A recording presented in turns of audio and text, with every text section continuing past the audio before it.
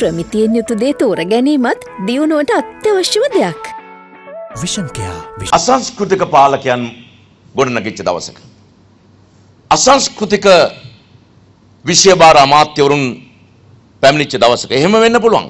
තුනුරුවන් ගැන නෙමෙයි දෙනුරුවන් ගැන විශ්වාස කරන කණ්ඩායම් බිහි වෙනවා. ඒ තනිරුවන් වෙන්නත් පුළුවන්. තුනුරුවන් දෙනුරුවන් වෙලා වගේම තනිරුවන් වෙන්නත් පුළුවන්. ඒක ශූන්‍ය වෙන්නත් පුළුවන්.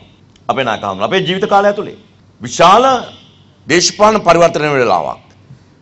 ඒ නිසා මේ සැකයෙන් කිසිදු ආණ්ඩුවකින් ආණ්ඩුවකට අසංස්කෘතික බලවේග වලට මේ පිරිවෙන් වල ඓතිහාසික වගකීම ඒ වගකීම ඉටු කිරීම සඳහා අවශ්‍ය අවිච්ඡින්න පැවැත්ම කොහොමද අපි තහවුරු කරගන්නේ?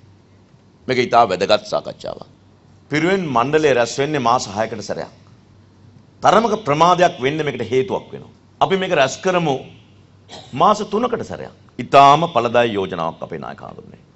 මේ මොහොතේම විශේෂ ඇමතිවරයා විදියට මම අතරේක ලේකම්තුමාට උපදෙස් දෙනවා. ඊටා වැදගත් මෙවැනි කාරණා පව ප්‍රමාද වෙන්න හේතුව ඒකයි. මෙවැනි කාරණා පව ප්‍රමාද වෙන්න හේතුවයි ඒකයි. ඒ නිසා ඒ සමාලෝචනය නිරන්තරයෙන්ම සිදුවීම සඳහා මේ නව වාරයේ ඉඳලම ඒක ආරම්භ කරමු. පිරිවෙන් මණ්ඩලය මාස 3කට සැරයක්. අවුරුද්දේ දවස් 365න් දවස් 4යි. ඒක ලොකු කාලයක් නෙමෙයි. breaking.lk